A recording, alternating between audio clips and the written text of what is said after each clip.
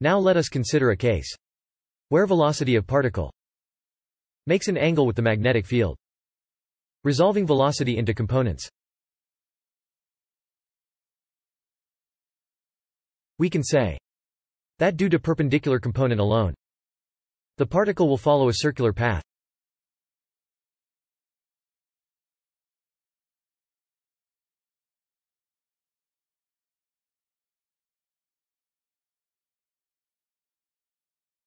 Such that the circle lies in a plane perpendicular to the magnetic field.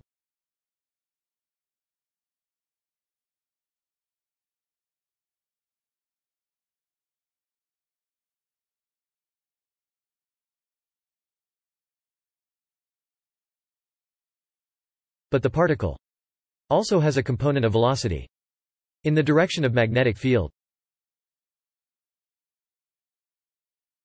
We know that a particle moving parallel to the magnetic field does not experience any magnetic force and thus its motion is not affected. Therefore, resultant motion of particle will be the superposition of the motion due to each component of velocity.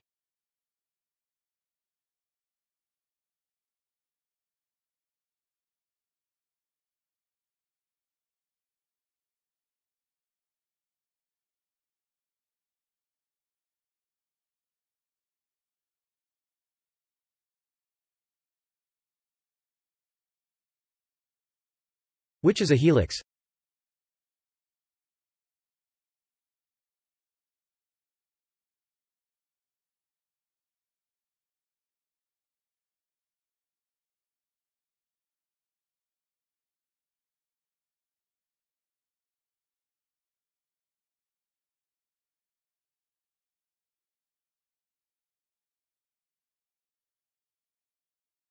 Note that it is a common misconception that the point of start of helical path lies on the center of helix.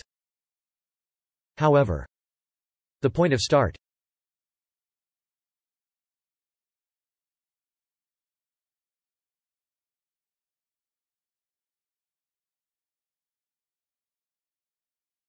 is at the edge of the helix.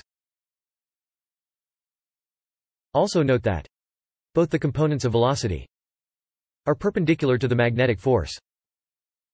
And thus, resulting velocity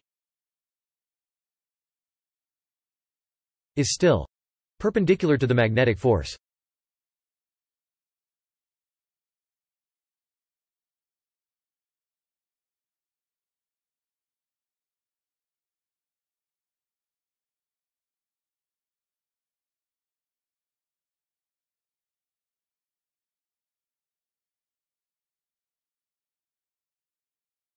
And thus work done by magnetic force is still zero.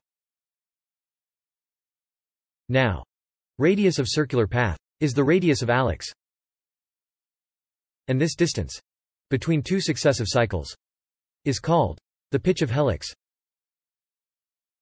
Radius of circular path depends only on the perpendicular component of velocity.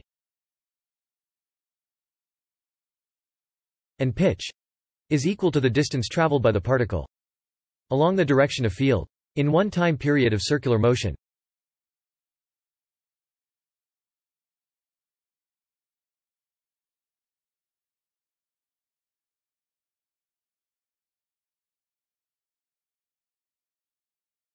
That is, it is equal to this term. Here time period of circular motion does not depend on the velocity of particle. Therefore, pitch of helix depends only on the parallel component of velocity.